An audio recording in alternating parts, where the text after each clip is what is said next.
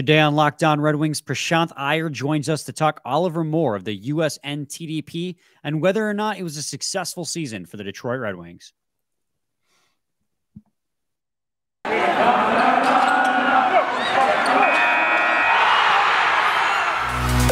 Your Locked On Red Wings, your daily podcast on the Detroit Red Wings, part of the Locked On Podcast Network, your team every day.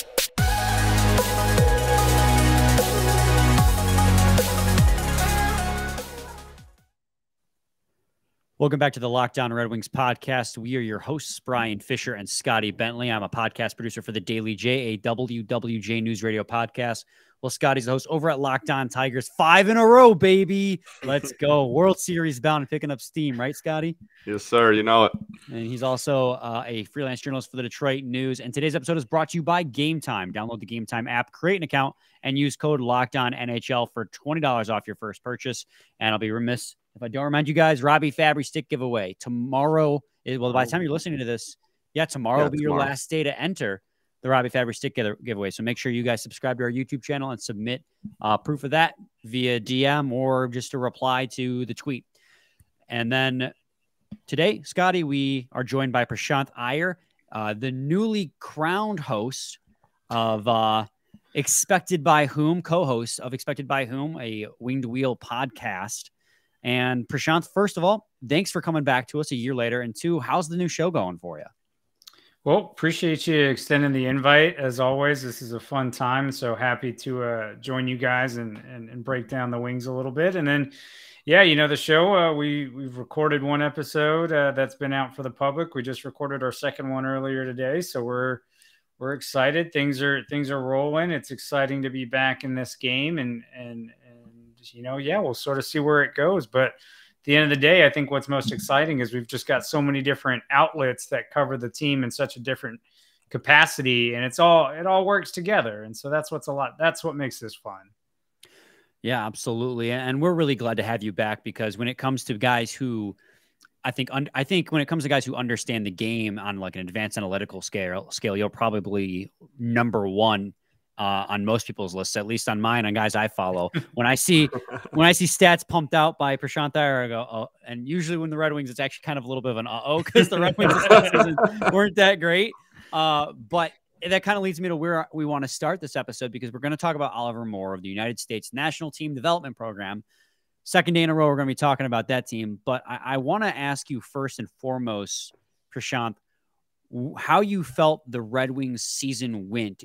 Scotty and I talked about it on Monday's episode, whether or not we deemed it a success. I want to know if you thought it was a success and by what um, parameters you're measuring success by. Yeah, that's a that's a million dollar question here because as as you mentioned, everybody's got a different definition of success. You know, if you go back and you look at uh, what I had the Wings doing at the beginning of the year, I had them at 81 points. They finished at 80. So from a success standpoint, yeah, they're kind of right in line with where I thought they would end up being. And and if you sort of take a broad step back and look at it, this was a team that was largely competitive, longer than they have been in the prior, you know, five years.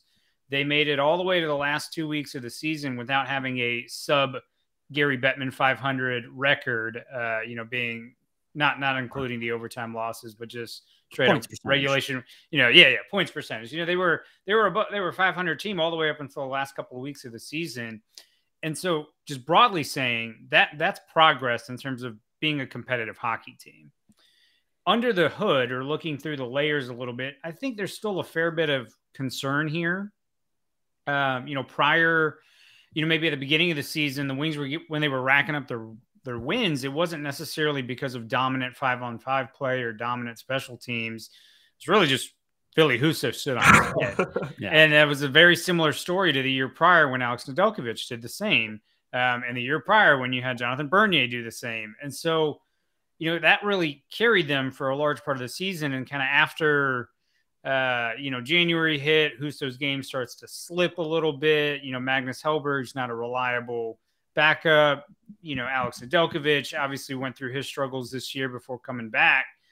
That first part of the season, all the way up until the trade deadline, even though the record looked good, the underlying numbers weren't exactly all that great. In fact, they weren't really all that much better than last year. really where I think you saw this team turn the corner, funnily enough, is after the trade deadline. After the trade deadline, even though all the the the results start to go very poorly, and again, that's related to to goaltending. This was actually a team that at five on five played probably as good as they could play. Uh, you know, given everything they ha- they had just sold off. I mean, a lot of people wouldn't believe me if I told you, but their five on five expected goals for percentage, again measuring the quality of shots for and against after the trade deadline was 4% higher than it was pre-trade deadline. So ultimately at the end of the day, I think it's not necessarily, I wouldn't say it's a success, but I wouldn't say it's a failure. It was sort of to be expected, if you will. Sure. Expected well, by whom, though?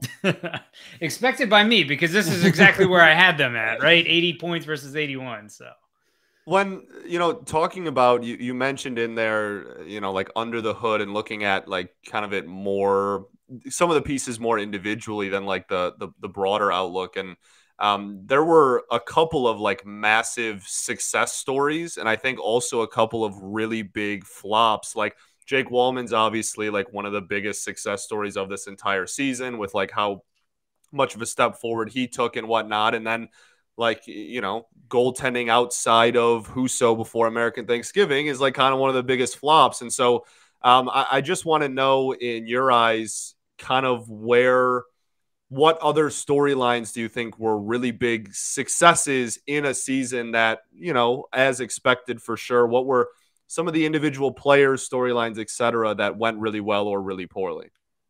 Yeah, I mean, you highlighted one already, and the one that I've been beating the drum on, which is the Jake Walman train. I think yeah. his emergence this year uh, has really solidified the Red Wings' left defense side now with Simon Edvinsson being there and having Jake Walman. You now have two potentially bona fide top four defensemen on the left side of your defense that are going to be able to solidify for the next, you know, three years at least with Walman's extension. So, you know, his emergence this year, unbelievable, a huge get for the Red Wings. And it almost makes their their left defensive prospect pool, which is full of guys. I mean, you have Albert Johansson, and Vera, whatnot, uh, you know, Shai so many guys down there. Uh, that almost makes them be a little bit more expendable because of that emergence, and potentially you can fill gaps in your roster using that that excess pool that you have now. So I think that's the biggest success story for me. Uh, you know, obviously, Ville Husso showed that he has the capacity to handle some of that starting goalie workload. Uh, but the Wings will have to go out and make sure they do a better job of supporting him and getting him better nights off or more nights off and a little bit better balance with his workload. But outside of those two, I think one of the success stories you're looking at is Jonathan Berggren. If you had looked at the beginning of the year, a lot of people wouldn't have penciled him to be on this roster. Not only does he make this roster, he's a he's an impact player. And at times he was flexed all the way up to the first line, could play down on the third line, excellent passer, uh, you know, really showed a lot with that. But I think what stood out to me was his shot. He's got a much better shot than people give credit for. And so he's a guy that I think is going to be an impact player for the Red Wings down the road and maybe someone you weren't counting on to be there. I think the other, you know, p- positive storyline is after the really tough start for Mo Seider at the beginning of the year, we saw we saw last year's Mo Seider in the second half of the season. He looked much more confident. He was, you know, challenging physically, challenging offensively, pushing the play, everything you wanted to see. And then, you know, even towards the end of the year, you had a Lucas Raymond hot streak, you know, from his scoring that gives you some hope moving forward. Think we all have to remember both these guys are 22 and 21 years old. Like, oh, we, we is, preach that all the time. this is a very young, very, very young team. And those two guys in particular are going to be cornerstones. They're just they're 22 and 21 and even when we talk about the shifting of peaks, we're normally talking about peaks being uh, in terms of peak performance for forwards being around 24 to 26. So Raymond's got a couple years before he's even in what we would consider peak. So all that being said, I think you saw some of the young guys have really good seasons. You saw the emergence from an uninspected area in Jake Walman. Um, and then you had some flashes of potential starting goalie in Ville Husso. I would also like to add to pre-injury Michael Rasmussen as a huge win for this organization this season. Um, just the, the, what he you talk about, obviously Berggren being able to be flexed up and down. Uh, the lineup, but Rasmussen's ability to he kind of solidified himself almost as a top six forward this year, and I think that's a lot of people previous to this season kind of didn't see that as as his ceiling. And he, after his injury, it felt as if I know you talked about how goal expected goals for percentage, the team was four percent better after the trade deadline, but it, it, felt as if the team and the locker room did lose something once he got injured, like that that edge that he brought and that ability to get into the corners and make things happen. Yeah, I mean, you know, when you start with me, I'm I was arguably the biggest Michael Rasmussen doubter that was on the internet, you know, for for years because and and and not all of it was necessarily related to to, to his fault and more had to do with the draft position that he was put in. I a agree. lot of the the storylines that came out about him around the time of the draft in terms of a lot of his scoring is sort of related to to the power play. Is he going to get that time at the next level? Uh, it was it was a lot of peeling back the hood at his numbers and, and really painting him into a corner. And then obviously when he has the issues uh, immediately after the draft where he, the Wings weren't really sure where to put him, and then he ends up in the NHL and has a really tough year. Uh, that that first year for him, all of it sort of unraveled. But this year was really the best we've ever seen Michael Rasmussen. And not only does that line up with what you saw on the ice, it lines up in the stats as well. I mean, he was arguably one of the most three or four impactful forwards for the Red Wings this season. And and you're absolutely right to highlight him because when when he goes down with the injury, I think a lot of the pieces start to fall out for the Wings. You're now having to figure out who's going to move up on the line, who's going to be that puck retriever guy on Dylan Larkin's line that became a revolving door, you know, for a little bit, and and and that was the challenge for the Wings. So I think him having a healthy recovery this offseason and getting back into it will be critical for the Wings moving forward. Absolutely. Uh, we need to go to a quick break, but when we come back, we'll get into the Oliver Moore draft pros- prospect profile. But first, I got to talk to you guys today about Gametime. Game Time is the place for last minute ticket deals. Forget planning months in advance. Gametime has deals on tickets right up to the day of the event. Get exclusive flash deals on tickets for football, basketball, baseball, concerts, comedy, theater, and more. The game time guarantee means you'll always get the best price if you find tickets in the same section and row for less. Gametime will credit you 110% of the difference. It's the fastest growing ticketing app in the country for a reason. Get images of your seats before you buy so you know exactly what to expect when you arrive. Buy tickets in a matter of seconds, tap two taps, and you're set. Tickets are sent directly to your phone so you'll never have to dig through another email. Snag the tickets without the stress with Gametime. Download the Gametime app, create an account, use code Locked On NHL for twenty dollars off your first purchase. Terms apply. Again, create an account and redeem code Locked On NHL for twenty dollars off. Download Gametime today. Last minute tickets, lowest price guaranteed. Segment two, Locked On Red Wings podcast. We are joined by Prashanth Iyer, one of the hosts of Expected by Whom, a Winged Wheel podcast. And Prashanth, I think we should transition now into talking about that Oliver Moore character out of the United States National Team Development Program. Scotty, I got it right. I just took all of yesterday to get it right. I'm really proud of you, man. It is, I joked with Pete, man, it is a mouthful, but uh, Oliver Moore had a really impressive season with the US NTDP program. He finished on their team, I believe, was fourth in scoring this season. Mm-hmm. And uh, what centered second line? He's five foot 11, 176 pounds, shoots left. Uh, Prashanth, this was the guy that you pointed out that you wanted to talk about in this episode. Why don't you give us a little bit of a preview as to why you like Oliver Moore so much? Yeah, Oliver Moore, for me, he's a guy that absolutely one fits the the kind of character player that Steve Yzerman looks for. So, you know, if you go and you ch- check out some of the draft profiles on him or read a little bit about what coaches have to say about him, he's a workhorse. He's committed on every shift to emptying the tank. He really wants to go and leave it all out on the ice.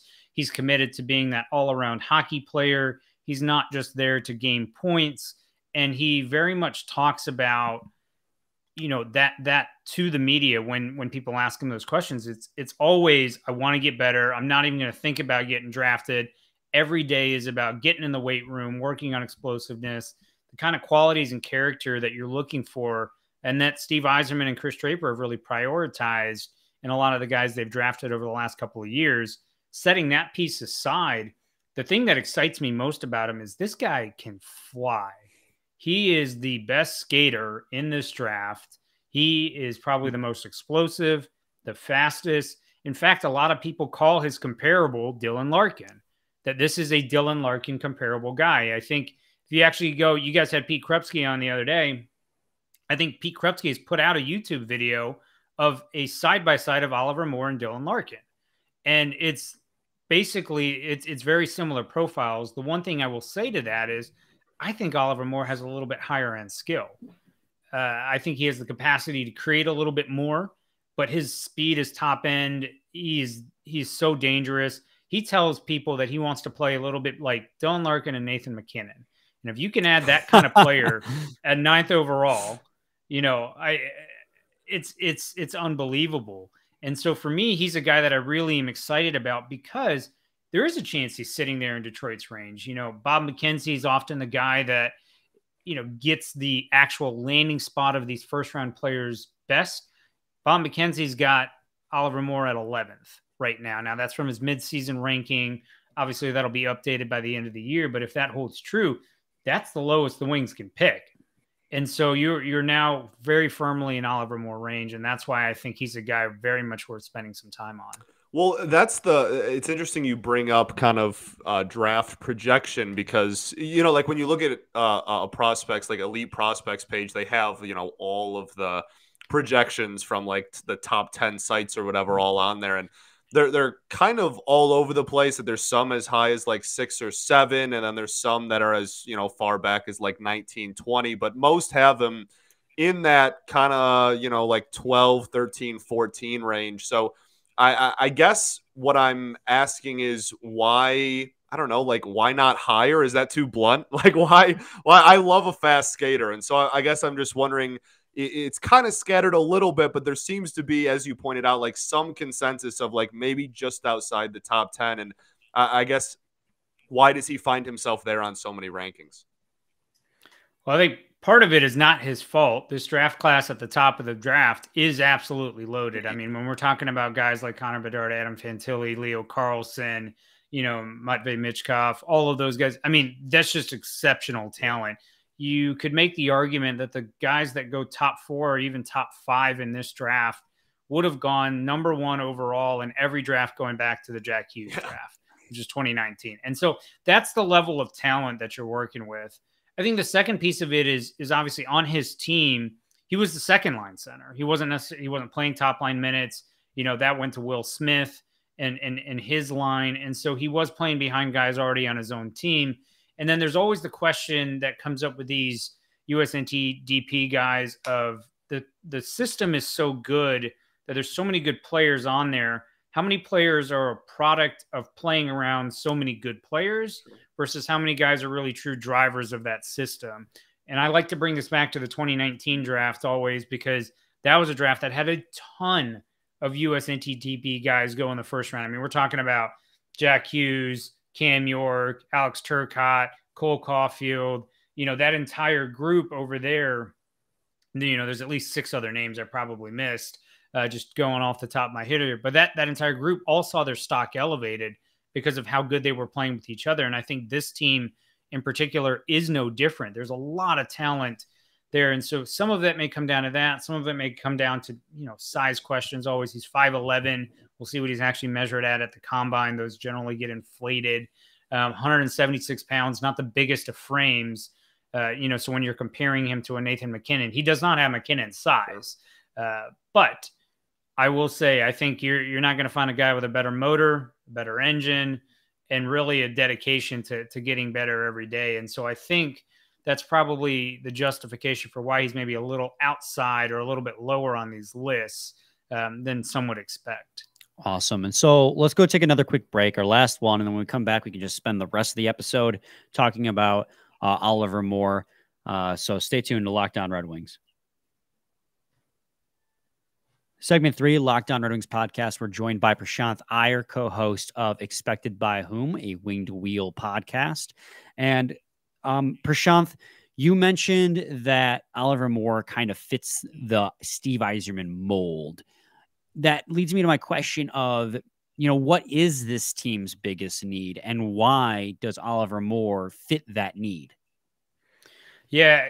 So when you when you step back and look at this team, I think there's a couple of uh, things that automatically jump out to you.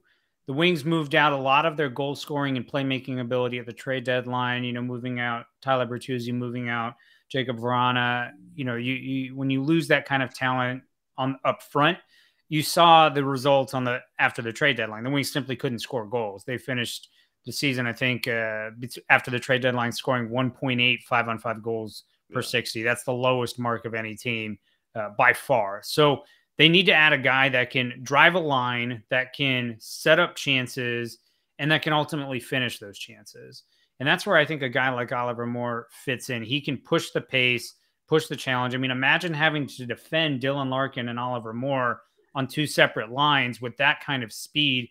You are always going to be under duress. And so if you look at a little bit of what the Avalanche have done with their center combos, it's it's sort of similar in how you want to have that aggressive pressure. And so I think he brings the pace of the game the Wings want to play at. He brings the playmaking talent. He brings the work ethic. And he brings that commitment to being an all around player that'll fit in this more defensive system of Derek Lalonde. So I think he's a guy that automatically jumps off the board as being an easy pick for the Wings. The nice thing about him is with these NCAA guys, you're always looking for guys that have established development paths. He's going to Minnesota next year. So that's a heck of a hockey team. And that's a heck of a place to develop a hockey player. For me, knowing that kind of development plans already in his place, this is absolutely a home run pick for me at 9, 10, 11 if he's available there. What would you say eh, I don't know biggest areas to grow still? What are we what are we looking at in terms of when he does go on that development path? What do you want to see him take the biggest strides in before he obviously reaches the NHL level? Yeah, I think for me, the biggest thing that I'd like to see him work on a little bit more is his shot.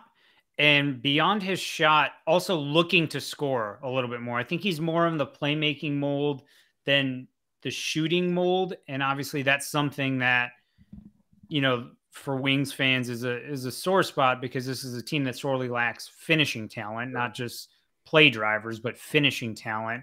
And so that's an area where I think if if he starts to get better in terms of making the decisions of when to take the offense in its own hands versus when to create for others, I think that sort of maybe decision making is what I'd like to see him develop a little bit more. And that's where I think, you know, Minnesota is going to be a perfect place to do that.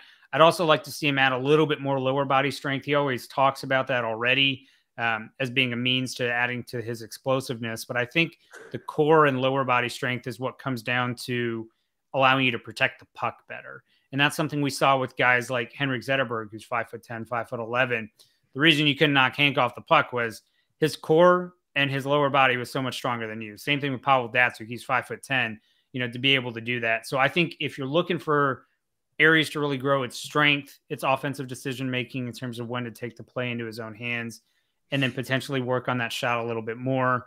And I think you've got a heck of a hockey player.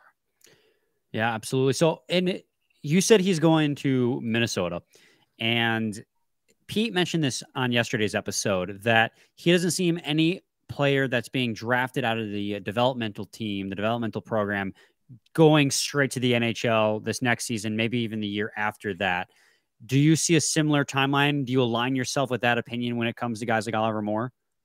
Yeah, I, I don't think you would plop him in the NHL next year. I think at a minimum, he's going to need one, if not two years at the NCAA. So you're looking at about three years from now for him to debut. Uh, but we'll see how that all all plays out. But I think for most of these NCAA guys, I would expect him to at least spend one, if not two years there uh, before making the jump. Okay, Scott, you got any final thoughts on Moore? Um, I don't think so. I think we covered everything I wanted to get to. Awesome. Well, Prashanth, while I have you here, I'm not going to miss an opportunity to pick your brain a little bit. Um, of the current Red Wings prospects that are on in the organization, which one is exciting you the most? Ooh, that's tough. Are we? How are we defining prospects? Guys who haven't seen an NHL game yet, or guys who maybe made their debut this year? I just want to make sure I give you an how accurate about, answer. How about we go like has not played in an NHL well, game. Yet, I, I, I don't want to go with that because that would outline that mean Kasper wouldn't count, and I feel like Kasper should still count within underneath that. yeah, umbrella. I guess, but like yeah, for sure, for sure, fair. But like also, you know, if if you want to get into like more like lesser known names, then obviously people that haven't played in the league, either one, I though. Yeah, so obviously, if we use uh, Brian's definition of guys who have played it, you know, a game or maybe whatnot, then Marco Kasper has to be your answer in terms of the guy who's most exciting. I think, you know, if you look, if you strictly just pull up the SHL stats and look at his points, it doesn't seem like all that impressive of a season. Uh, you know, he didn't score at a particularly high rate. There are some folks that have do a little bit deeper analysis on the SHL and I've actually been able to build out uh, you know, goals above replacement models. And, you know, shockingly, Marco Kasper was a top 10 player in the SHL by goals above replacement this past season. And that's fascinating to me because one, his team that he was on, Rögle, was not very good this year. And he had to do a lot of the driving and the carrying of that. So that's not just him being carried by his teammates, that's him doing a lot of the driving. And as a result, the model is sort of ascribing that benefit to him. So obviously Marco Kasper is the guy that I think you have to be really, really excited about. Beyond him, and you know, sort of peeking into the depth chart, I think obviously the hot name right now is Amadeus Lombardi. Uh, you know, every, everybody loves him after what he just did in Flint, and then being able to jump up and play a couple games in Grand Rapids, getting his first professional point there. You know, he's an exciting guy. I would, you know, not not not to temper the fist pumps a little bit, but I would say let's not pull the cart before the horse. He's got a lot to still work on in his game, he, especially physically. He's got to hit the weight room. Yeah. If you watch just two games in Grand Rapids, the biggest thing that stands out is he got pushed off the puck a lot. So, you know, he needs to get in the weight room, but it's very clear he's a very smart player, very heady player, a guy that can make, you know, potentially make a roster in a couple of years outside of him, Carter Mazur is the other big name that everyone's been talking about. He had a tremendous year in Denver and then obviously got to jump into Grand Rapids. Prior to his injury, point per game player scores three goals.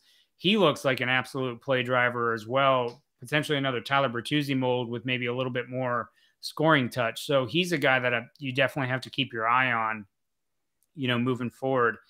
Outside of those three guys, there's not a ton in the prospect pool that really truly excites me about guys that could maybe make a be considered difference makers down the road. You know, Cross Hanas in his 30 games looked, you know, interesting at times uh, in Grand Rapids. We'll have to see a little bit more from him. I don't know if he ultimately ends up being a play driving player, though. Shai Buium uh, didn't necessarily take as big of a step this year at Denver as you would have hoped he would have done. And so there's a little bit of question marks there. I think William Wallinder, we need to see a little bit more of in Grand Rapids to know what you have there. He was asked to play a big role in Sweden this year on Rögle, you know, playing 20 plus minutes a night. Um, but I'd like to see what that looks like in Grand Rapids before really getting, you know, too too excited about it. So I really think whoever the Wings draft in the first round this year, if they use both those first round picks, are ultimately going to be the guys highest on your list in terms of being the next difference makers. For sure. And then so also Red Wings. This is my last question, I promise, and we'll let you go. but Steve Yzerman has five picks in the top 50, five picks in the top 45, actually. If you're Steve Yzerman, what are you doing with those five picks? Are you trying to make a trade to move up? Are you trying to make a trade to acquire a player now? Or are you using each of those five picks on a player in the draft? Oh man, how much time do you have? Uh, yeah, so I can start a timer. And... so you know the the answer to this question ultimately comes down to what strategy Yzerman wants to take. You and, and I think this is important, and this is what I've written in my "If I Were Steve Yzerman" pieces the last couple of years. There's never one right path forward to building a team. We've seen that across the NHL. There are a number of ways to get your team to the next level, even with expansion teams like Seattle and Vegas. Both have gone about it in dramatically different ways. You know, Seattle, you know, electing to be very patient, not spending their money, taking their time, adding the right free agents. Vegas basically reinventing how people trade for these expensive players and how to finagle the cap You know, so th- there's a lot of ways to go about it. And I think if you're Steve Yzerman, you have one of two options. You're either saying, I want to win with the core that I have right now, and I am committed to making moves that advance this team's performance substantially next season. That's path one. Path two is okay, even with adding everybody that I added in the offseason, this was still a team that was several points out of a playoff spot, unlikely to really be all that competitive if they were to make the playoffs, given you know the struggles with goaltending in the back half of the season, the the less than stellar five on five play, penalty kill obviously not being great. I should consider, you know, tearing down maybe a bit more and looking for the acquisition of more prospects or more picks.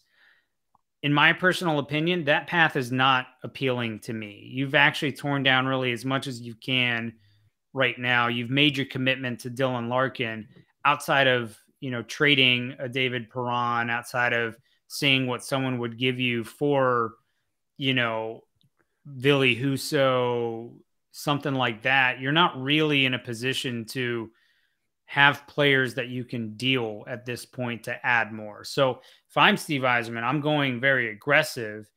And for the teams that sold their first round picks, because we had a record number of first round picks dealt um, this past trade deadline, there may be a lot of people that want to call and, and, and move up into the 41, 42, 43 spot where the Wings will be having their second round picks. There may be teams that want to jump back into the first round at 18 uh, hopefully, if the Isles end up not making the conference finals, and and so there's there's opportunities for for Yzerman to potentially unload those picks in the name of impact players.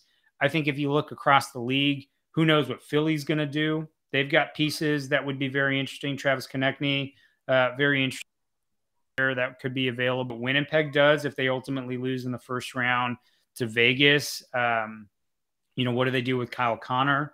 What do they do with Nikolai Ehlers? You know, I think those are a couple of players that are really interesting. Connor, in particular, being a Michigan kid and you know having a tremendous finishing talent would be a huge add. And then from there, there's there's always opportunities to look at Ottawa with Alex DeBrincat. Um, so I, I think there's there's opportunities to utilize those picks. And if I'm Yzerman, that's the route I would be going. I would always have my phone line open and willing to add roster players, not prospects, not more picks, but genuine roster players to advance this team moving forward. Uh, but it has to be a commitment of part of the bigger picture. So that's Scotty and I are right there with you. We, he and I have had conversations. We think this team's at a point now where, with the roster they have, they need to start trading to acquire players to really, if they want to really take that next step in this rebuild. Do you do you buy that DeBrincat stuff though? I read the same. I read that stuff too, and I was like, is that real or is that just smoke? I I mean, from what's been reported so far, I'm not putting any stock in it. It sounds like people are reading into him saying, "I'll let the Senators know what I want to do by the time of the like by the time of the draft." Like right. it sounds like people are just reading into that a little bit more. And in Detroit, in particular, because you have a Farmington Hills kid, you know you you, you, you want to read into that even more. And then he's a great goal scorer. So all of a sudden now it's like, oh my God, Alex DeBrincat wants out of Ottawa and he wants to come to Detroit. that being said, even if he did, I don't know that he's the right fit for the Wings. Um, he's not a play driving forward. He's a goal scorer, but he's going to need to be on somebody's wing to do that. Uh, somebody that can drive that line. So Dylan Larkin and so ultimately that that affects your balance a little bit. And then he's going to be quite expensive. Yeah. Uh, you know he's got his 9 million poison pill qualifying offer that ultimately set kind of the bar for what a long-term contract looks like for him.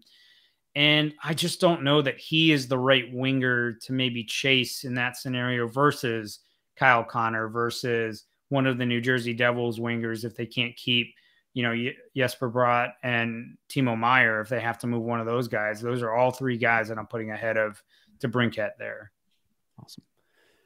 Scotty, you got any final thoughts or questions, man? Uh, no, I don't think so. We Scotty, won't. Scotty's ready to go record Tigers. He's pumped. I am pumped. You're right. I I want to watch Toronto lose in the first again too. Uh, all right, Prashanth, thank you so much, man, for joining us today. Yeah, it was an absolute you. pleasure. It's always such a blast picking your brain. appreciate you guys for having me and look forward to uh, doing it again. Hopefully, not a year from now. Hopefully, we can do this again sooner, not. right? Well, we have a lot of prospects that we're looking to profile. Do it. We we do it better than we did last year. We only got to a handful last year. We're going to try and be more proactive and get to more of those first round. One of them was Marco, though. That's all One of them matters, was Marco. Baby. That's all that matters. uh, right. So I'll be in contact. Reach back uh, out to you to get you back on.